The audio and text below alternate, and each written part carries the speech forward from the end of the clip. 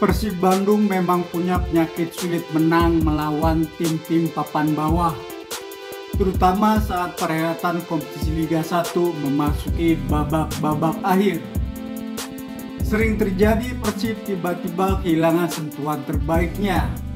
Lawan yang semestinya bisa ditaklukkan dan dipermalukan berbalik menjadi batu sandungan yang membuat Persib pusing tujuh keliling. Bayangkara FC contohnya, datang ke Sijalak Harupat sebagai tim calon degradasi justru bisa menghipnotis Persib Bandung. Membuat Persib kehilangan kehebatannya menjebol gawang lawannya dan memupus tradisi menang yang sebelumnya jadi denyut kesarian Persib Bandung sepak bola Persib, Persib pun macet. Kemenangan kelima beruntun gagal dipersembahkan Persib di depan boboto fanatiknya. Senin 15 April 2024 di Stadion Kapten Iwan Dipta Gianyar Bali bukan tidak mungkin giliran Persita Tangerang mengikuti jejak Bayangkara FC Persita punya catatan bagus menghadapi Persib di penghujung kompetisi Liga 1. Musim lalu, Persita yang berada di peringkat 9 menghancurkan Persib 4-0 yang berada di peringkat 2 dan sedang berlomba memperebutkan trofi juara Liga 1 bersama PSM Makassar. Buntutnya, akibat kekalahan tersebut Persib terlempar dari trek juara dan harus puas finish di posisi ketiga. Betul kami selalu berada dalam masalah ketika bermain melawan tim-tim yang levelnya di bawah kami. Kami sulit menang, tapi saya sudah ingatkan itu semua pada pemain bahwa saya ingin mereka tampil maksimal dan meraih kemenangan, kata Bojan Hodak.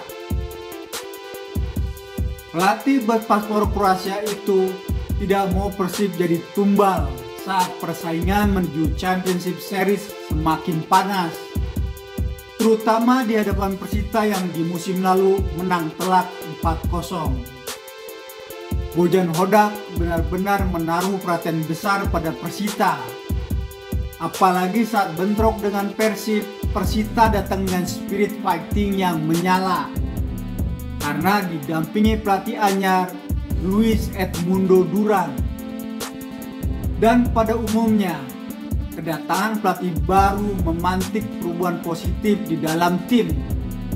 Sendi-sendi prestasinya langsung bergeliat, motivasinya meledak-ledak.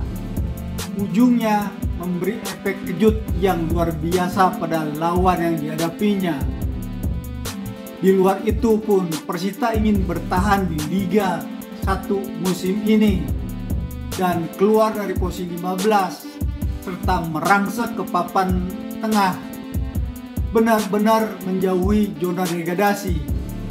Bersama Luis Edmundo Duran, mereka akan tampil on fire. Bermain 100% dan memberikan peluang ekstra keras pada Maung Bandung dengan tujuan meredupkan nama besar Persib dan menjegal Persib lolos ke Championship Series. Betul, menjadi lebih sulit buat Persib dengan spirit perubahan buat Persita di Stadion I Kapten Wayan Dipta.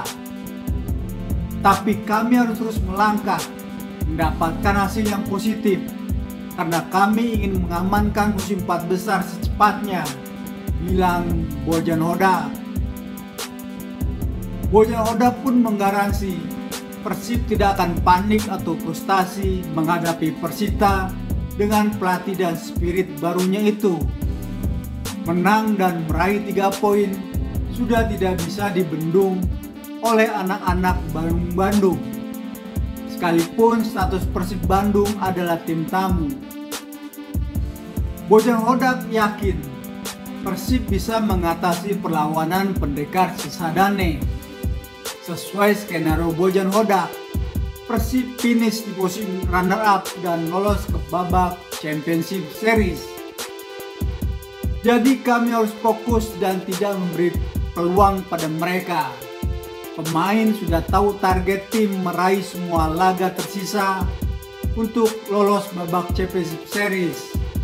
Praktis, semua lawan harus dikalahkan oleh Persib Bandung. Cerita Bojan Hoda.